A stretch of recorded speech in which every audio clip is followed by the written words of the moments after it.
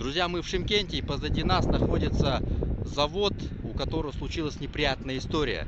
По заявлению местных жителей, эта компания не выплачивает заработную плату за добросовестно выполненную работу. И мы отозвались помочь, так как в этой ситуации пахнет несправедливостью со стороны бывших чиновников и судебной системы. Мы будем помогать семьям, так как э, эта ситуация стала очагом их социальной напряженности. И мы очень бы не хотели, чтобы это стало тем примером, когда бывшие чиновники, призванные защищать граждан, приняли иную сторону закона.